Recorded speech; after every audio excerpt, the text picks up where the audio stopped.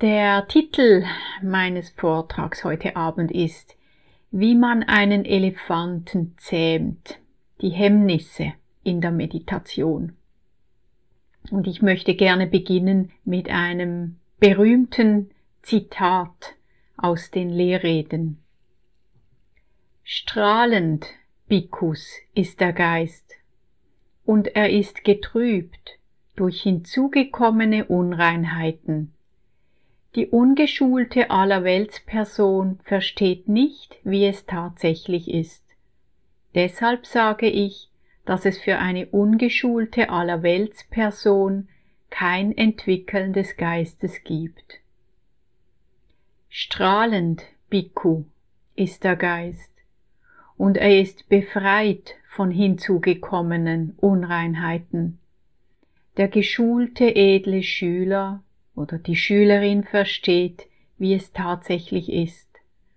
Und deshalb sage ich, dass es für eine geschulte, edle Schülerin oder einen Schüler ein Entwickeln des Geistes gibt. Ja, in diesen Zeilen steckt sehr viel.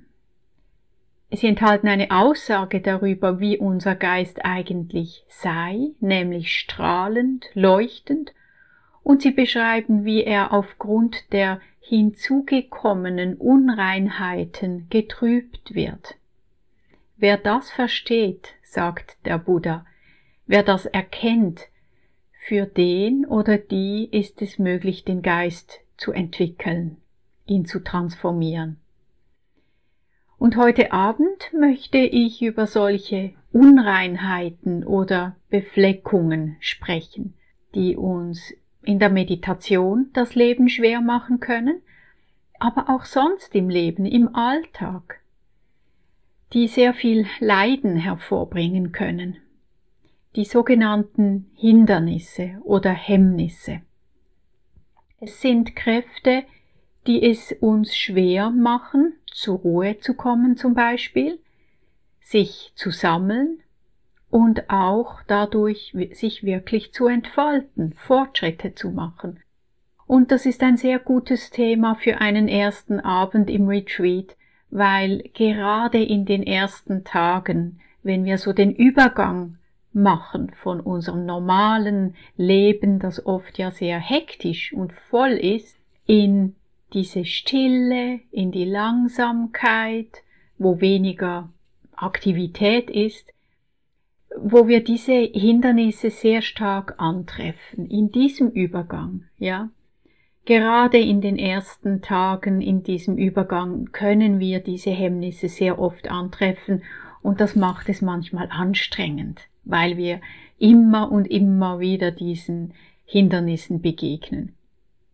Wir haben uns vielleicht gefreut auf ein paar Tage Ruhe und Stille und inneren Frieden und was treffen wir an stattdessen? Ein völlig unruhiger Geist, ständiges inneres Geplapper, schwierige Gefühle, Schmerzen im Knie. Manchmal sind wir wahnsinnig müde, fallen fast vom Kissen, wir sind träge, uns ist langweilig und so weiter. Also so der Übergang wirklich in die Praxis ist oft mit solchen Hindernissen verbunden. Also das ist einfach eine normale Erfahrung, dass es eine große Umstellung ist. Ja.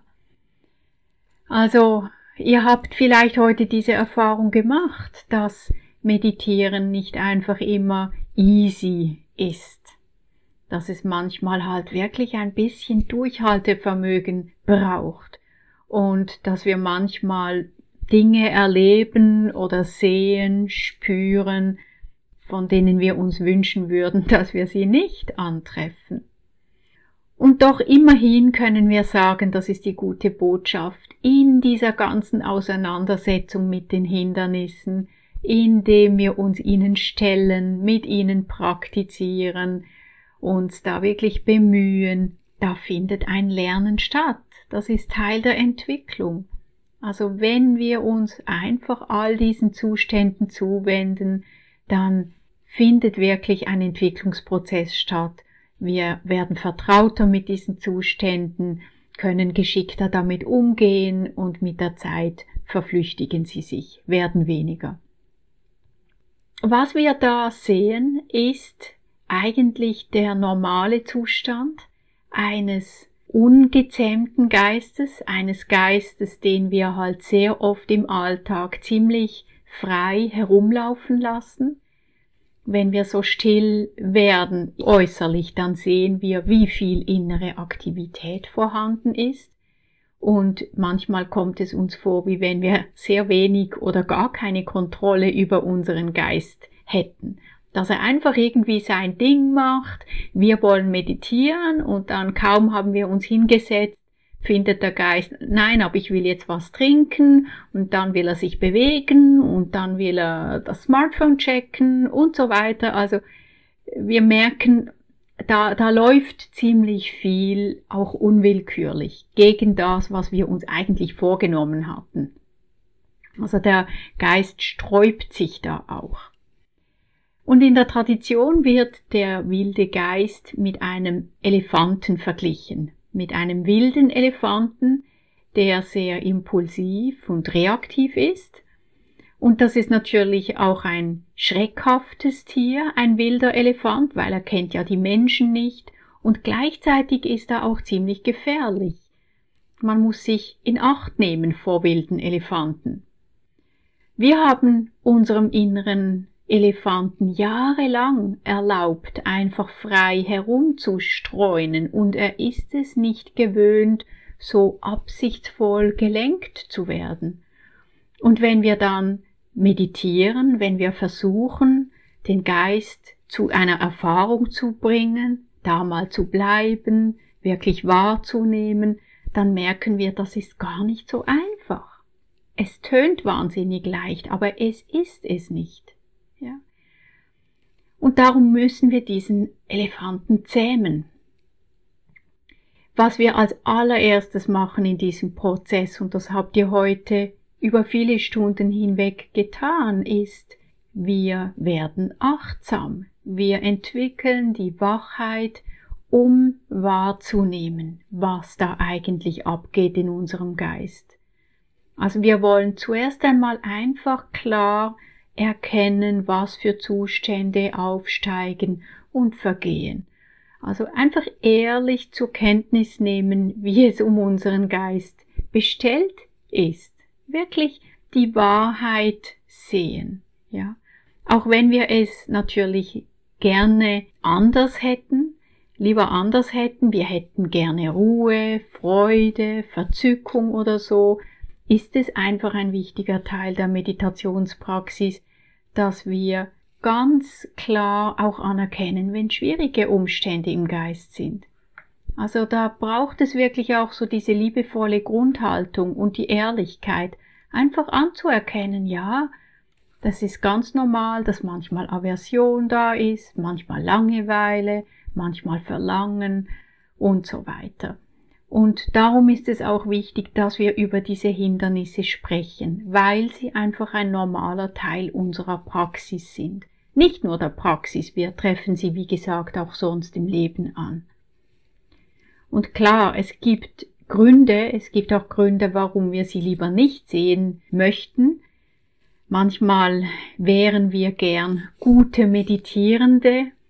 Wir möchten ein Selbstbild aufrechterhalten, dass wir frei sind von diesen Zuständen und dann fällt es uns vielleicht schwer, das einzugestehen. Zum Beispiel, wenn plötzlich sexuelle Lust kommt, äh, Fantasien, das muss man sich auch eingestehen. Oder manchmal sind die Hemmnisse einfach so stark, dass wir gar keine Perspektive mehr, mehr, drauf haben und wir sind so in ihnen drin, dass wir gar nicht anders können, als ihnen zu folgen. Da ist dann gar keine Achtsamkeit mehr. Manchmal, das ist auch interessant, sind so unheilsame Zustände einfach auch sehr tief eingeschliffen. Wir haben uns so gewöhnt an diesen Zustand, dass wir es fast als normal empfinden. Also, dass man zum Beispiel fast gewohnheitsmäßig ein bisschen griesgrämig durchs Leben geht und gar nicht sieht, ja, was ist denn das Problem? Das ist so wie ein Möbelstück, das seit vielen Jahren bei uns in der Wohnung steht, das nehmen wir gar nicht mehr wirklich wahr. So bin ich halt, oder? Also da fehlt uns manchmal auch ein bisschen die Distanz, um das zu erkennen.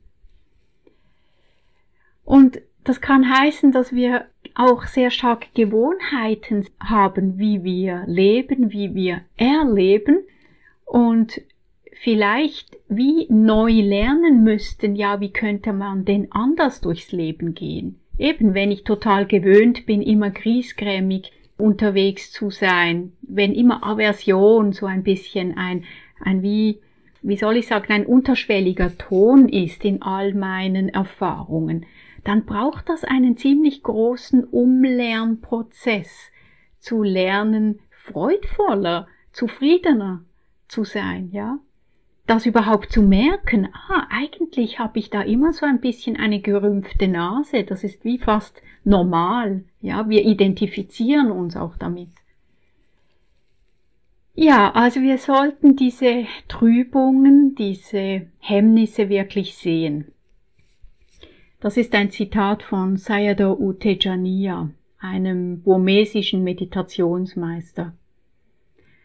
Als erstes musst du anerkennen, dass Geistestrübungen in deinem Geist sind. Dies ist grundlegend. Wir alle wollen gut sein und tendieren deshalb dazu, nur die positiven Seiten zu sehen und zu zeigen. Wenn wir uns den Verunreinigungen nicht stellen, dann belügen wir uns selbst und andere. Wenn du dich positiv verändern willst, musst du deine negativen Seiten kennen. Wenn du anfängst, dich selbst realistisch zu sehen und sowohl deine guten wie schlechten Qualitäten anzuerkennen, dann machst du deine Sache gut. Ja, also wir wollen diese Hemmnisse erkennen aber natürlich nicht nur die Hemmnisse, er sagt auch die guten Qualitäten. Wir wollen alle Facetten unseres Erlebens wirklich sehen und anerkennen. Aber ich möchte jetzt im Folgenden spezifisch auf diese fünf Hemmnisse eingehen. Vielleicht kennt ihr sie schon, aber es schadet nicht, immer wieder mal an sie zu denken, damit wir sie schneller identifizieren können, damit wir sie wirklich erkennen, wenn sie auftauchen. Denn, wie Fred von Halmen sagt, tragen diese Hemmnisse ja normalerweise kein Schild mit sich herum, wo dann steht Achtung Hemmnis, oder? Also wir müssen selbst wach genug sein, damit wir sie wirklich erkennen, sonst gehen wir ihnen nämlich auf den Leim. Diese fünf Hindernisse sind sinnliches Begehren oder Verlangen, Aversion, Faulheit und Trägheit, Ruhelosigkeit und Besorgnis und als fünftes der skeptische Zweifel. Also schauen wir uns das sinnliche Begehren oder Verlangen an. Das erste Hemmnis, dem wir immer wieder begegnen, ist das Verlangen nach irgendetwas, was jetzt gerade nicht ist. Irgendetwas, wo wir uns Genuss oder Freude oder Lust oder Spaß versprechen. Das kann etwas sein, Konsum, Besitz, das kann etwas Angenehmes zu essen sein, Unterhaltung, irgendwas, ja? Und ich möchte hier auch erwähnen, Verlangen ist nicht das gleiche wie zum Beispiel Sehnsucht nach spirituellem Wachstum. Das einfach ganz kurz noch, dass wir das auch unterscheiden. Hier geht es wirklich um das sinnliche Verlangen, das Verlangen nach angenehmen sinnlichen Erfahrungen, nach denen wir begehren, die wir wollen. Das kann manchmal sehr grob sein, es kann ziemlich offensichtlich sein und manchmal ist es auch ziemlich subtil. Und es ist interessant zu sehen, dass in unserer Kultur eigentlich Verlangen gar nicht als speziell problematisch gesehen wird. Also wir leben immer noch, vielleicht ändert sich das mal hoffentlich, in einer sehr, sehr konsumorientierten Welt, wo eigentlich die Befriedigung sinnlicher Genüsse als sehr erstrebenswert gesehen wird, oder? Das ist ja eigentlich etwas, was unsere Gesellschaft sehr antreibt, dass wir gutes Essen haben, gute Unterhaltung, dann posten wir irgendwelche Bilder über Essen auf irgendeinem sozialen Medium. Also es gibt ja so Leute, die sind wahnsinnig interessiert an so Essensbildern. Es entzieht sich mir, was daran so interessant sein soll, aber ähm, dann all die, die, die Mode. Ich meine, das ist einfach endlos. Unsere Welt ist wahnsinnig ausgerichtet auf die Befriedigung sinnlichen Verlangens. Ja? Auch viele Romane, viele Filme stellen das dar und das wird dann zum Teil sogar sehr positiv dargestellt, das Schmachten, bis man endlich den Helden oder die Heldin gewonnen hat und dann gibt's ein Happy End zum Beispiel. Also wir zelebrieren in unserer Kultur auf eine Art auch den sinnlichen Genuss. Und das sehen wir dann auch als Zeichen von Lebendigkeit. Was wir da nicht sehen in dieser ganzen Kultur rund um sinnliche Genüsse, ist, wie diese sinnlichen Genüsse uns auch abhängig machen können. Also wie wir da, wenn wir etwas verlangen, wie uns auch binden an dieses verlangte Objekt. Egal ob es ein Cappuccino ist oder ein neues Kleid oder ein neues äh, Smartphone oder was auch immer. Solche Dinge, die absorbieren sehr viel Energie, sehr viel Ressourcen, sehr viel Zeit und in dem Moment, wo dieses Verlangen stark ist in unserem Geist, da vernachlässigen wir alles andere. Das wird ziemlich dominant in unserer Erfahrung und wir tun alles Mögliche, um unser Verlangen zu befriedigen. Alles andere scheint dann eben ein bisschen langweilig, nicht so wichtig. Wir wollen dann nur noch unser Verlangen befriedigen. Das kann zum Teil groteske Züge annehmen, weil wir so stark von dieser Gier getrieben sind. Also besonders stark zum Beispiel, wenn wir süchtig sind nach etwas. Und was wir übersehen ist, dass dieser Zustand des Verlangens eigentlich ein unangenehmer Zustand ist. Wir verwechseln das vermeintlich wunderbare Objekt mit Glück, ja? Wir denken, das wird mir Glück geben und verlangen nach diesem Glück und wir merken nicht, dass dieses Verlangen in dem Moment, wo ich es erlebe, selber gar nicht besonders glückhaft ist. In dem Moment, wo ich etwas verlange, was ich jetzt nicht habe, bin ich unerfüllt. Da fehlt mir etwas. Da ist etwas nicht genug. Es ist eigentlich wirklich ein, ein Konflikt in dem Moment zwischen dem, wie ich bin in dem Moment, was ich möchte oder was ich habe und dem, was ich möchte, was ich anstrebe. Da schaffe ich eine Spaltung, eine Spannung auch in mir. In der Meditation haben wir ganz viele Gelegenheiten, um sinnliches Verlangen zu beobachten. Das kann sich zeigen in Form von Fantasien, von Tagträumereien, von Impulsen, die plötzlich kommen, etwas zu tun, etwas zu holen, etwas zu beschaffen. Oder wenn wir Gehmeditation machen wollen oder sollten und dann kommen da alle möglichen anderen Ideen, was wir auch noch tun könnten. So oft ist es Verlangen, das uns da antreibt. Ah, ich trinke lieber zuerst eine Tasse Tee. Ja. Oder ich gehe noch in diesen Tagtraum hinein. Also wir empfinden den jetzigen Moment als zu wenig interessant, zu wenig befriedigend. Wir sind nicht wirklich, wirklich angekommen im Hier und Jetzt, sondern ein Teil von uns greift so wie vor schon ins nächste. So dieses gierige Ausgreifen, wo kann ich etwas kriegen, was meinen, mein Begehren erfüllen kann, befriedigen kann. Und leider sehen wir nicht, dass wir da oft übertriebene Erwartungen haben. Also wir erwarten, dass dann diese Tasse Tee oder was auch immer wahnsinnig angenehm und befriedigend sein wird.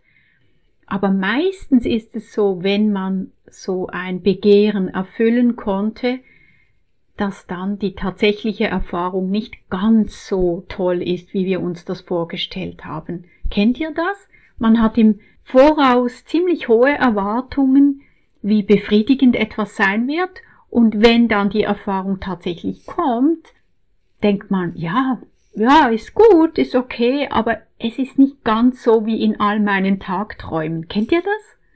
Ja, so diese Diskrepanz zwischen der erwarteten Befriedigung und der tatsächlichen Befriedigung. Da spielt uns unser Verlangen einen Streich. Wir erwarten zu viel, ja. Die Ferien, wie viel wir da projizieren. Ah, die Ferien. Wenn endlich diese Corona-Krise vorbei ist, dann mache ich eine Reise irgendwo hin ans Meer und dann kommen wir dahin und dann ist ein, gibt's eine Baustelle und wir haben doch nicht direkt Strandzugang und da ist noch eine laute Straße dazwischen und und und. Es ist immer so eine Diskrepanz zwischen unseren Träumen und dem, wie es dann am Schluss ist, ja. Das ist so frustrierend.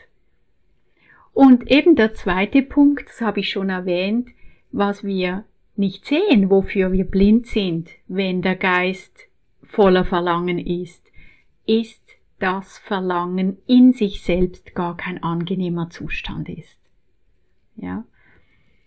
Wir sind angespannt, wir sind nervös, weil wir wollen etwas, was wir jetzt aber nicht haben, und das ist nicht sehr toll.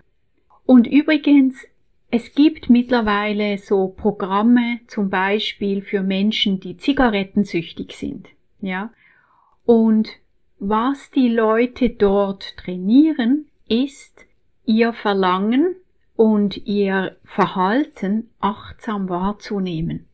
Also dass die Leute zum Beispiel wirklich spüren sollen, wie sie Verlangen haben nach Zigaretten, dann sollen sie achtsam wahrnehmen, wie sie zur Zigarette greifen, und dann die Zigarette rauchen und achtsam den Rauch schmecken und da dämmert's den Leuten plötzlich, wenn sie anfangen wirklich achtsam zu sein auf die Erfahrung von Verlangen und dann dem Verhalten, das aus dem Verlangen herauskommt, kapieren die Leute, wow, das ist ja gar nicht so toll.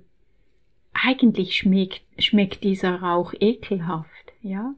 Und genau das können wir auch in der Meditation machen. Wir versuchen nicht, das Verlangen einfach mit Willenskraft abzustellen, zu verdrängen, wegzumachen, sondern wir wollen wirklich achtsam wahrnehmen. Wie fühlt es sich denn an? Manchmal ist das Verlangen vielleicht sehr, sehr subtil, dass wir in der Meditation ein bisschen konzentrierter, gesammelter sein wollen. Da ist ein Verlangen nach einem bestimmten Geisteszustand. Manchmal kommt Verlangen auf, wenn etwas Unangenehmes in der Erfahrung ist. Dann kann das Verlangen so wie eine Ablenkungsstrategie sein. Vielleicht ist ein körperlicher Schmerz, vielleicht ist ein seelischer Schmerz, was macht unser Geist? Er fängt an, zum Beispiel Tagträume zu träumen, einfach als Ablenkung von dem Unangenehmen. Wir haben das Gefühl, dass uns das tröstet. Ja. Verlangen wird von Buddha in einem bestimmten Gleichnis beschrieben. Er hat eigentlich für jedes Hindernis ein Gleichnis gegeben und alle Gleichnisse haben mit Wasser zu tun. Ja. Und im reinen Zustand ist Wasser ganz, ganz klar. Da kann man hindurchsehen. Ja, das Licht kann durchs Wasser hindurchgehen. Wenn jetzt aber Verlangen im Geist ist, dann ist das wie wenn das Wasser mit Farbstoffen eingefärbt worden wäre. Also wenn wir Verlangen haben im Geist, dann ist unsere ganze Erfahrung getönt durch unser Verlangen. Und die Färbung ist so, dass die Welt uns dann begehrenswerter, schöner, leuchtender erscheint. Vor allem das begehrte Objekt natürlich. Also wenn Verlangen im Geist ist, dann nehmen wir das verlangte, begehrte Objekt größer und erfüllender wahr, als es tatsächlich ist. Wir projizieren alle unsere Hoffnungen darauf, ja. Und manchmal ist es so interessant zu sehen, wenn so ein Anfall von Verlangen vorbei ist, kann manchmal auch ein Jahr dauern oder so, wie sich unsere Sichtweise eines Objekts verändert. Das kann zum Beispiel mit Menschen passieren. Also ich habe das wirklich sehr eindrücklich erlebt. Ich weiß nicht, ob ihr das auch kennt, dass man wirklich verhaftet ist an einer Person und die Person so idealisiert und so positiv sieht. Und wenn das ein bisschen sich aufgelöst hat, diese Verzauberung, dann plötzlich denken wir, ja, es ist eine nette Person, aber also, was war jetzt da los mit mir? Ja, also, da waren wir wirklich unter dem Einfluss dieses Verlangens und dieses Verlangen hat unsere Wahrnehmung stark beeinflusst. Ja. Also darum ist es eben so wichtig, Verlangen zu erkennen. Nicht beim Objekt hängen zu bleiben, das so begehrenswert ist, sondern in dem Moment, wo wir das merken, oh, der Geist greift, wollen wir den Blick umkehren und in den Geist hineinschauen und den und diesen Zustand des Verlangens selbst erkennen. Das ist ganz, ganz wichtig und das ist gerade bei Verlangen schwierig, weil wir total in Trance sind. Wir sind völlig verzaubert vom Objekt und sich dann zu lösen und uns auf den eigenen Geist auszurichten, das braucht ziemlich viel Entschlossenheit. Da muss man wirklich loslassen und sagen, so, das Objekt ist das Objekt, aber ich schaue jetzt einfach die Qualität in meinem eigenen Herzgeist an. Ja, also das ist das, was wir auch in der Meditation tun wollen, wenn wir Verlangen bemerken, dass wir die Aufmerksamkeit zu diesem Zustand bringen und wahrnehmen, wie er sich im Körper anfühlt, wahrnehmen, wie er sich im Geist anfühlt, einfach achtsam wahrnehmen. Gut, dann kommen wir zur Aversion oder auch Ablehnung. Aversion hat die Qualität, dass es ein Objekt wegstößt, dass es das Objekt weghaben will. Und das Pali-Wort für Aversion, Patiga, bedeutet wörtlich gegen etwas schlagen. Wir erleben Aversion in ganz vielen verschiedenen Variationen. Das kann sehr intensiv sein, als Hass, als Ärger, Wut, Rage. Es kann sich als Übelwollen zeigen, Feindseligkeit, Verdruss, Genervtheit oder auch Kummer, Trauer, Pessimismus oder manchmal einfach so ein ein Widerstand gegen das, was jetzt gerade ist. Ja, einfach so nicht so offen sein. Im Unterschied zum Verlangen, welches das begehrte Objekt so ein bisschen größer und farbiger macht, sieht Aversion jetzt alles, was falsch ist, was schlecht ist, was nicht genügt.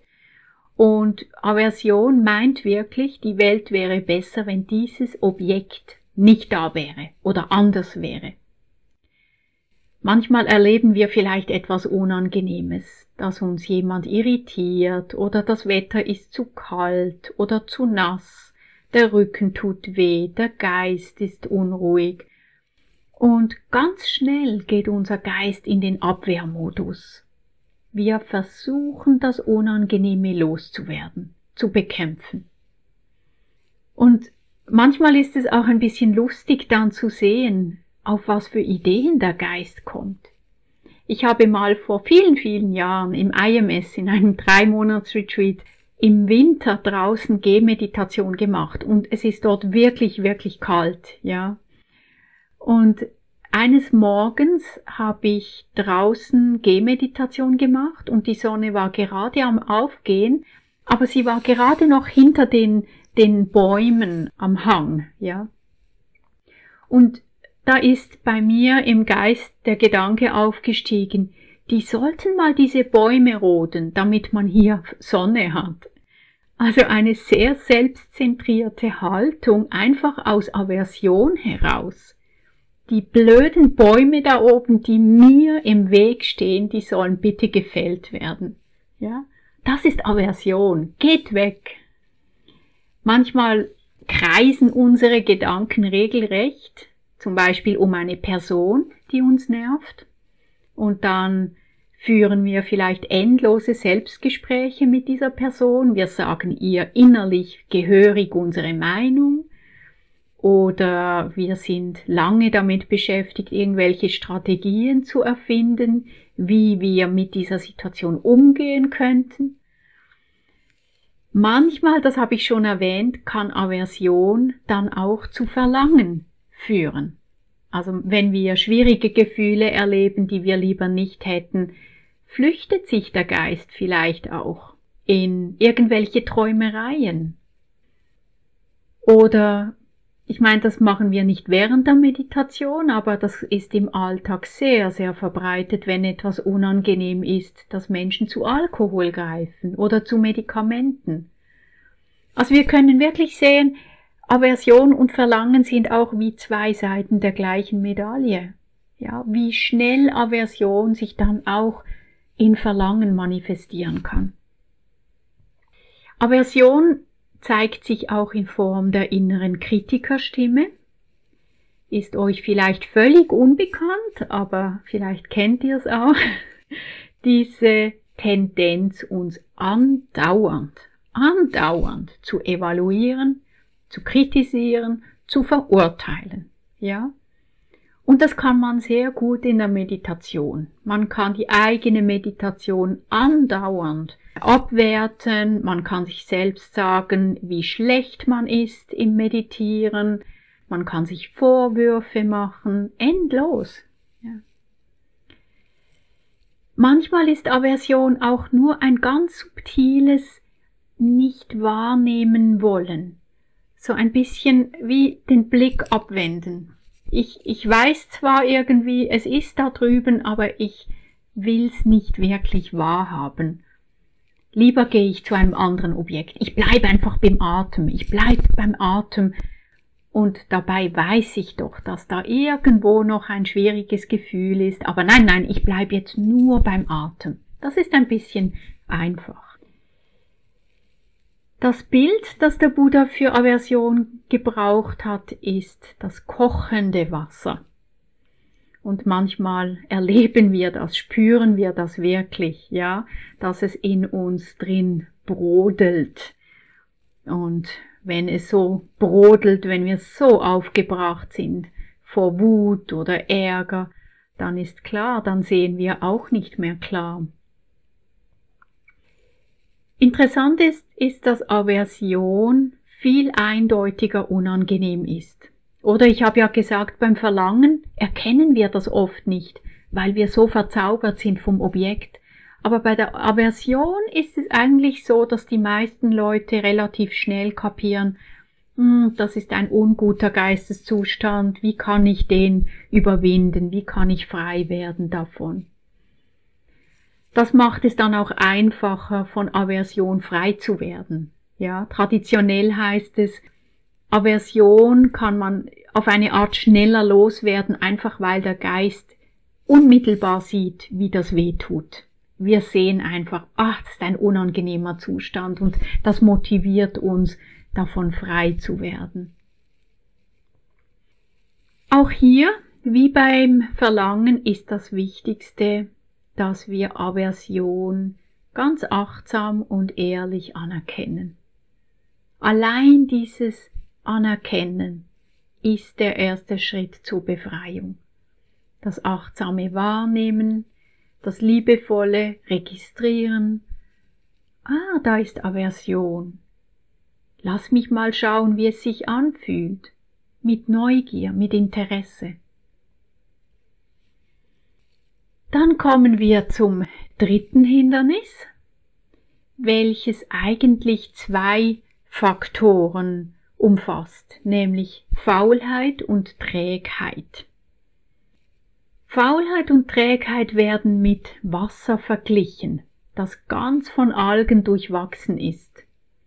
Und vielleicht kennt ihr so ganz ruhige, stille Teiche, in denen das Wasser eher steht als fließt und wo das Wasser so ganz durchzogen ist von diesen grünen Fäden, ja.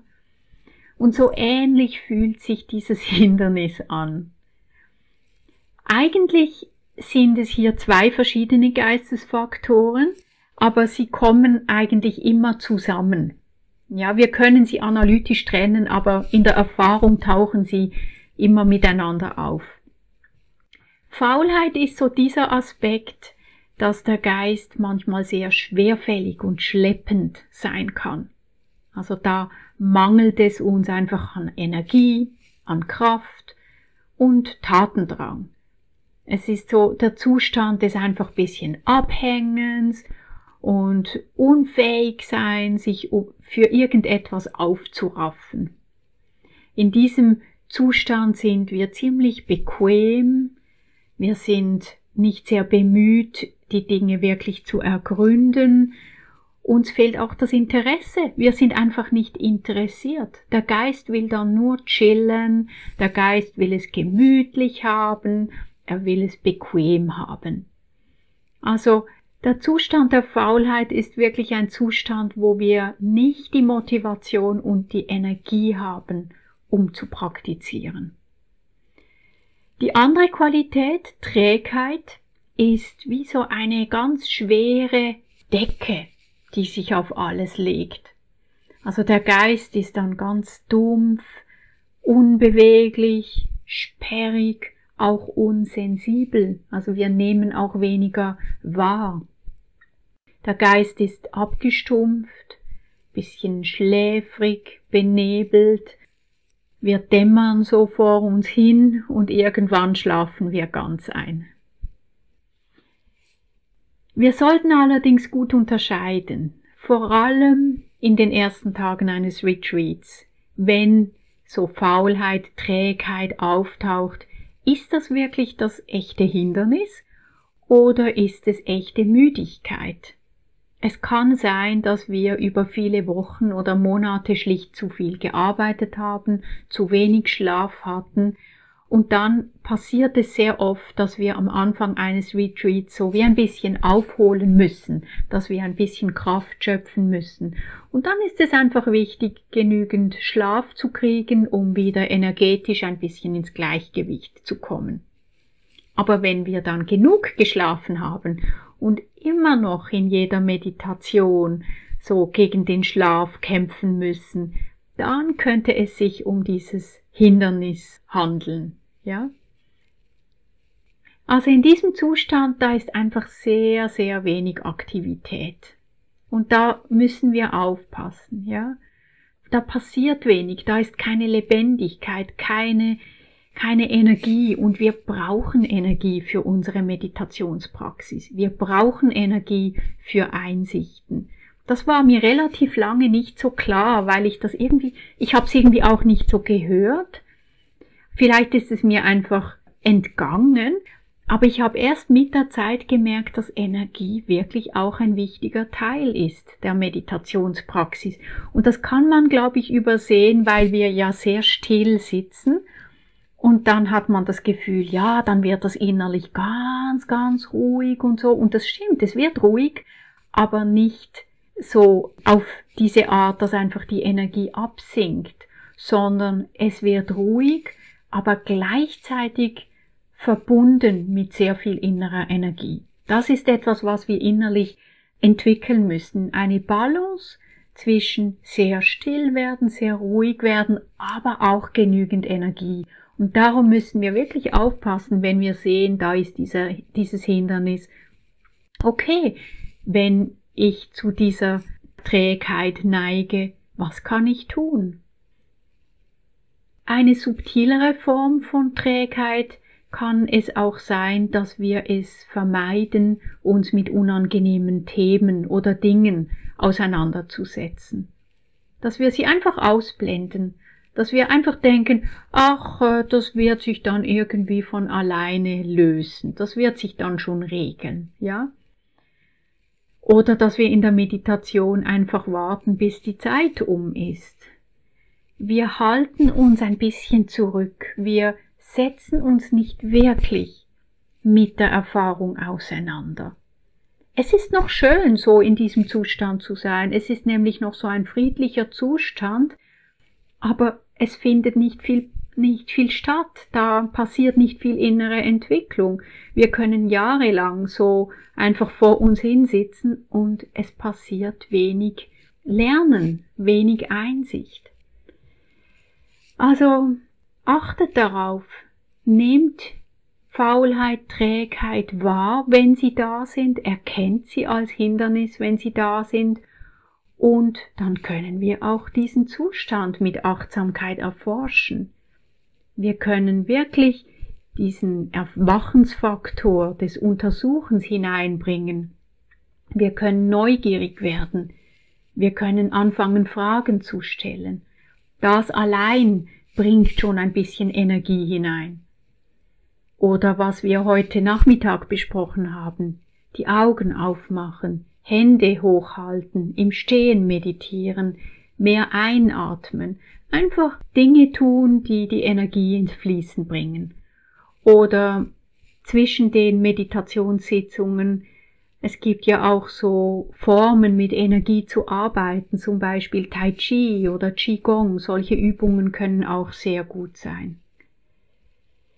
Gut, dann kommen wir zum Gegenstück von Faulheit und Trägheit und das ist die Ruhelosigkeit und Besorgnis.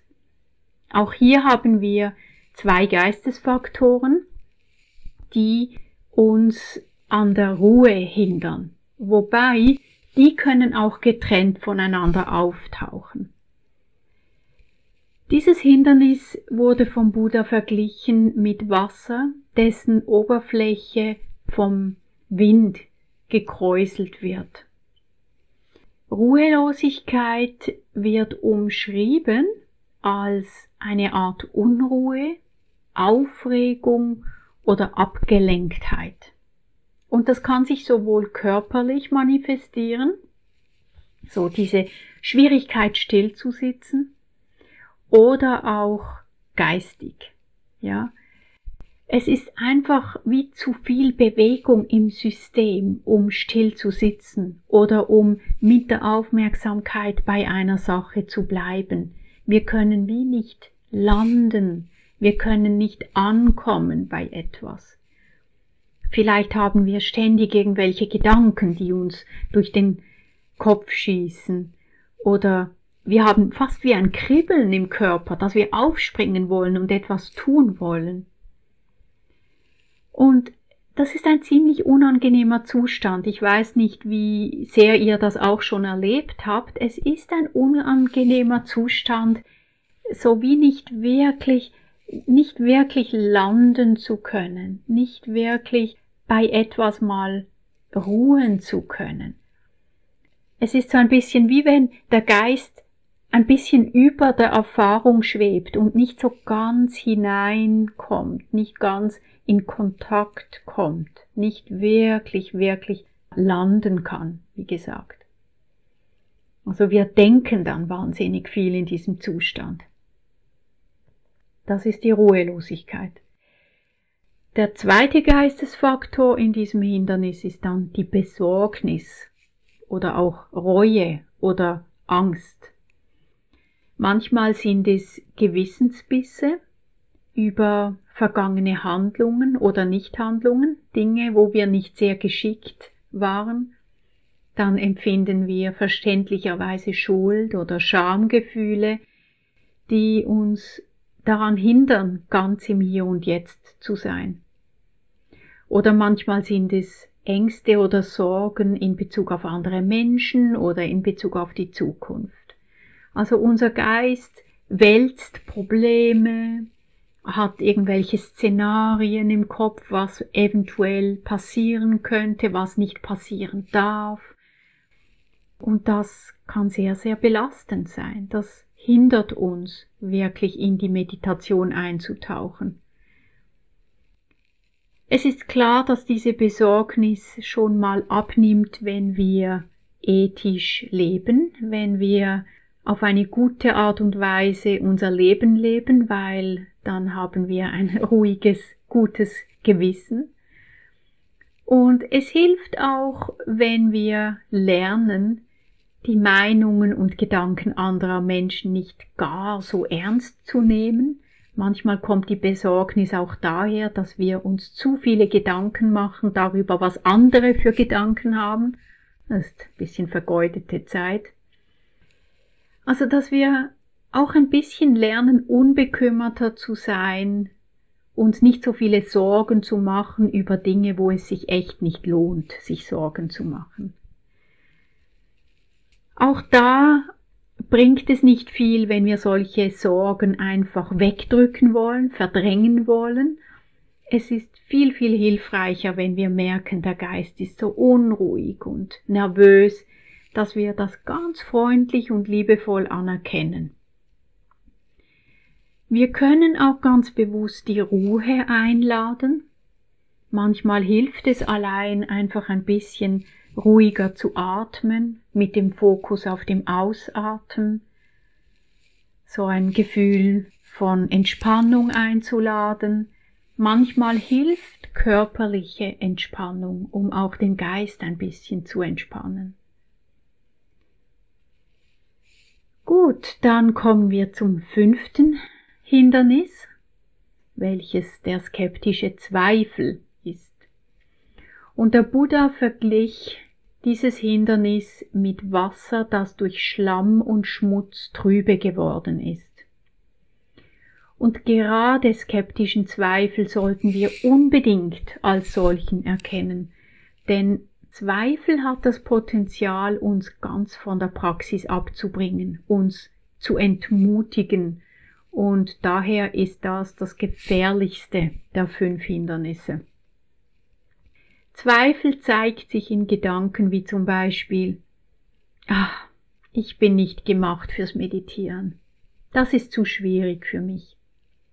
Oder wozu soll das gut sein, stundenlang herumzuhocken und den Atem zu spüren, das bringt doch nichts. Oder ah, ich glaube, ich hätte doch eher den Kurs in Quantenheilung machen sollen, das wirkt schneller und so weiter. Skeptischer Zweifel ist ein Zustand der inneren Unentschiedenheit und Ungewissheit. Der Geist schwankt. Wir wissen nicht so recht, was wir wollen. Und so sind wir wie unschlüssig und zögerlich. Wir sind unfähig zu einer inneren Klarheit zu kommen und drehen endlos im Kreis. Natürlich sollten wir skeptischen Zweifel nicht verwechseln mit sorgfältigem Nachdenken zum Beispiel. Das ist was ganz anderes, wenn wir eine Frage sorgfältig untersuchen, hinterfragen, dann setzen wir uns ernsthaft mit etwas auseinander und sehr gründlich, wir prüfen verschiedene Argumente, damit wir am Schluss zu irgendeinem Fazit kommen können, ja? Und auch wenn es nur das Fazit ist, dass eine Sachlage vielleicht nicht eindeutig ist, das gibt es ja im Leben. Aber da ist das Nachdenken wirklich fruchtbar, wohingegen beim skeptischen Zweifel dieses Fragen nie zu einem Ende kommt. Nie, ja? Der Zweifel kann nie sagen, okay, jetzt habe ich etwas verstanden. Es ist eher ein emotionales Nicht abschließen können. Ich habe mal das Bild gehört und das finde ich so passend. Ein, ein Gleichnis für Zweifel. Da ist ein Mensch an einer Straßenkreuzung und kann sich nicht entschließen, in welche Richtung er oder sie gehen soll. Und so steht die Person an der Kreuzung und steht und steht und steht und kommt nirgendwo hin. Genau das ist die Wirkung von Zweifel. Wir sind gelähmt und blockiert und wir lassen uns nie auf etwas wirklich ein. Wir haben immer überall Einwände, warum wir etwas nicht tun wollen, nicht tun können. Und so machen wir am liebsten gar nichts. Und wir bleiben stehen. So verhindern wir unsere Entwicklung. Skeptischer Zweifel ist dann besonders stark, wenn schon andere Hindernisse da sind. Also wenn wir zum Beispiel sehr ehrgeizig sind, dann praktizieren wir vielleicht mit zu viel Verlangen. Wir wollen Resultate sehen. Und dann sind wir enttäuscht, wenn diese Resultate nicht kommen. Und prompt taucht Zweifel auf. Oder vielleicht ist das Hindernis der Schläfrigkeit da. Oder der Unruhe. Und dann ärgern wir uns darüber. Das ist dann die, die zweite Ebene. Und dann obendrauf kommt dann schlussendlich noch der Zweifel. Ah, ich kann das sowieso nicht. Ja?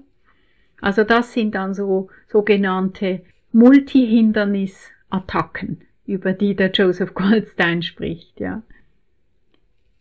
Beim Zweifel können wir darauf achten, wie er sich für uns zeigt.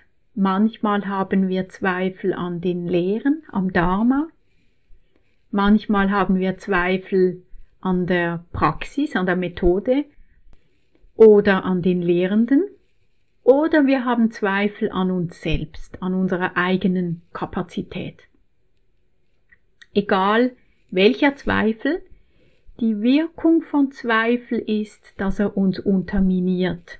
Und das ist das Problem am Zweifel. Er schwächt unsere Energie, er raubt uns unser Vertrauen und auch so einfach die Bereitschaft, uns einzulassen.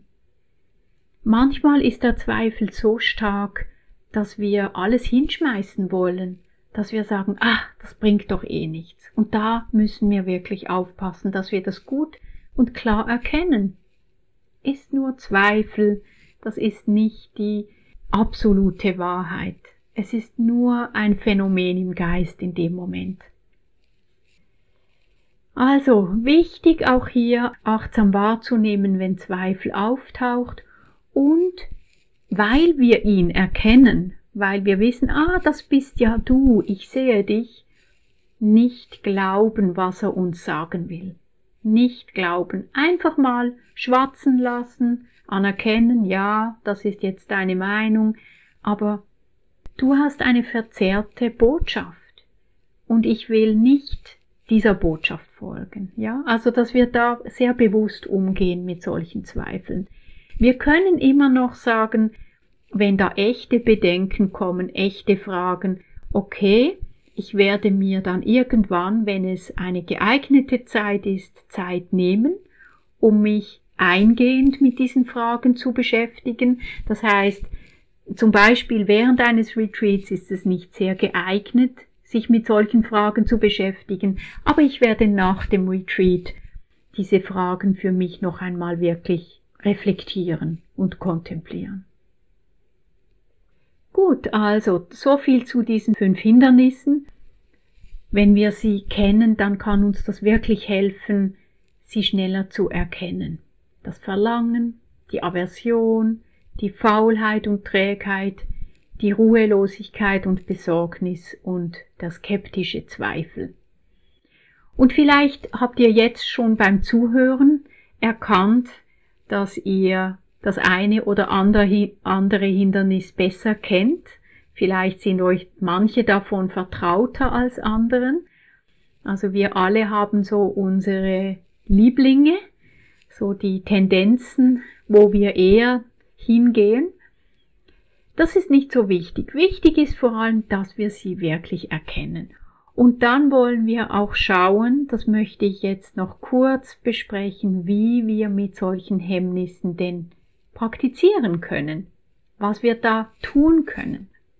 Und ich beziehe mich hier auf das, was Joseph Goldstein dazu sagt, auf fünf Schritte im Umgang mit den Hemmnissen. Das allererste große Überraschung ist erkennen, wenn ein Hemmnis da ist. Das hatten wir schon. Und das ist eine Form der Weisheit. Es ist eine Form der Weisheit zu erkennen, dass ein Hemmnis ein Hemmnis ist. Ah, Aversion, ich sehe dich. Oder ah, Verlangen, ich sehe dich, ja? Es ist ein himmelweiter Unterschied, ob ich unbewusst unter dem Einfluss eines Hemmnisses bin oder ob ich weiß, dass das Hemmnis da ist. In dem Moment, wo ich es nämlich klar erkenne, ist Einsicht da, ist Vipassana da. Wir sehen, ah, Hemmnis. Ja, und da ist schon ein bisschen Raum. Da sind wir schon nicht mehr so, so ganz drin gefangen in diesem Hemmnis. Wir können wie ein bisschen zurücktreten und klar sehen, ja, ja, da ist jetzt Aversion. Okay, okay, gut, Aversion, du darfst dein Ding machen und ich mach mein Ding. Ja, so. Erkennen. Zweitens, auch erkennen, wenn kein Hemmnis da ist. Ja? Das ist lustig. Also wir sollen nicht nur erkennen, wenn die Hemmnisse da sind, sondern auch erkennen all die Momente, wo der Geist relativ frei ist von Hemmnissen. All die Momente, wo der Geist frei, offen, lebendig, wach, energetisch ist einfach anerkennen und wertschätzen. Ha.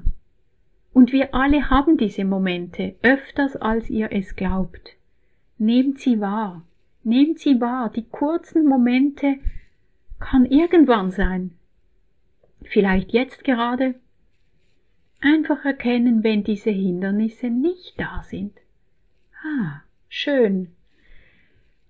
Das dritte ist Erkennen der Bedingungen, die zum Auftauchen von Hemmnissen führen. Das können wir durch das achtsame Wahrnehmen, durch das Praktizieren mehr und mehr erkennen, wie zum Beispiel zu viel Essen die Wahrscheinlichkeit von Faulheit und Trägheit erhöht, ja, oder wenn ich rigide Erwartungen habe darüber, wie die Dinge zu sein haben, wie das zu Aversion führen kann. Oder wie Schmerzen Verlangen triggern kann und so weiter. Also dass wir wirklich etwas auch lernen, Einsicht erlangen in die Bedingungen, die zu den Hemmnissen führen. Dann der vierte Schritt ist erkennen, welche Bedingungen zum Entschwinden und Auflösen des Hemmnisses führen.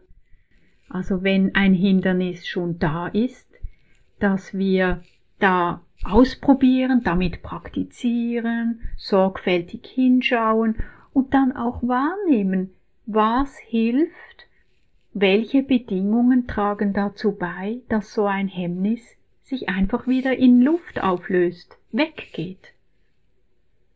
Manchmal ist es allein das achtsame Wahrnehmen, das zum Auflösen eines Hindernisses führt. Manchmal können wir vielleicht auch bewusst etwas einladen, wenn der Geist sehr unruhig ist.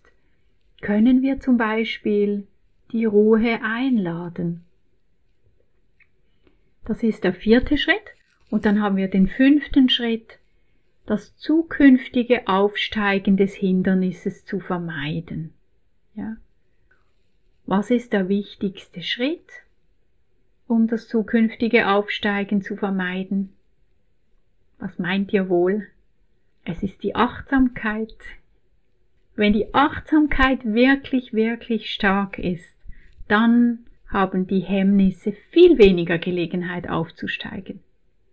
Wenn wir hingegen so bisschen abgelenkt, verzettelt, nicht ganz bei der Sache sind, da haben die Hemmnisse ganz viel Einfallstore. Ja, also die Hemmnisse sind wirklich ein super Übungsfeld, wo wir etwas lernen können über unseren Geist, über seine Funktionsweise und auch etwas über die geschickte Umgangsweise mit ihm. Wir lernen sie zu erkennen und wir verstehen, dass all diese Hemmnisse bedingt entstehen und vergehen. Und das gibt uns den Schlüssel in die Hand, um immer geschickter zu werden. Ja, damit sind wir durch diese Hemmnisse. Wenn wir wissen, das sind einfach Hemmnisse, die universell sind, nicht unser persönliches Problem, dann kann das ganz schön entlastend sein. Also ihr müsst euch nicht schlecht fühlen oder denken, ihr seid jetzt irgendwie Versager, wenn ihr mit diesen Hemmnissen kämpft. Schon der Buddha und all seine Schülerinnen und Schüler seit vielen tausend Jahren, die haben diese Hemmnisse erlebt, angetroffen, sie sind einfach ein Teil der normalen Praxis. Ja, also wir brauchen uns nicht dafür zu schämen, aber wir wollen das wirklich als ein Übungsfeld sehen, um damit zu arbeiten, um unser Geschick zu entwickeln. Und wir können verstehen, so wie ich es am Anfang gesagt habe in diesem Zitat, dass all diese Hindernisse, diese Unreinheiten oder Befleckungen eben nur hinzugekommen sind. Sie sind nicht die tiefste Natur des Geistes. Sie sind nur wie vorüberziehende Wolken, die dem Himmel nichts anhaben können. Die Weite des Himmels wird in keinster Weise davon beeinträchtigt, nur weil da mal eine Wolke von Verlangen oder Trägheit vorüberzieht. Das heißt nicht, dass wir den Hemmnissen erlauben wollen, die Macht über uns zu gewinnen, überhaupt nicht. Es ist wichtig, dass wir uns ihnen stellen, dass wir mit ihnen üben. Aber je mehr wir damit praktizieren und wirklich hinschauen, desto eher wird es möglich, dass da etwas auftaucht. Verlangen, Aversion, Unruhe, Schläfrigkeit. Und wir schauen dem einfach in die Augen. Und wir sagen, ich sehe dich. Ich weiß, wer du bist und ich werde dir nicht einfach folgen, ich werde dir nicht auf den Leim gehen. In dem Moment sind wir frei, in dem Moment, wo diese Hemmnisse auftauchen können und wir fallen nicht rein auf sie. Ja, da wo wir uns nicht mehr mit ihnen verheddern, da liegt die Freiheit. Ja. Ich möchte abschließen mit einem Zitat aus den Lehrreden wenn eine Praktizierende oder ein Praktizierender diese fünf Hindernisse überwindet, diese Überwucherungen des Geistes, welche die Erkenntnis lähmen, dann ist es möglich, dass er oder sie mit kraftvoller Erkenntnis das eigene Heil erkennt, das Heil der anderen oder das gemeinsame Heil. Man wird fähig sein, das übermenschliche Ziel von Einsicht zu verwirklichen, welche die Erlangung von Heiligkeit ermöglicht. Also, das ist der Weg zur Befreiung, wenn wir diese fünf Hindernisse überwinden können. Und das ist ein langer Weg. Ja, wir sind da, wo wir sind, aber die Möglichkeit ist da. Ja, Vielen Dank für eure Aufmerksamkeit.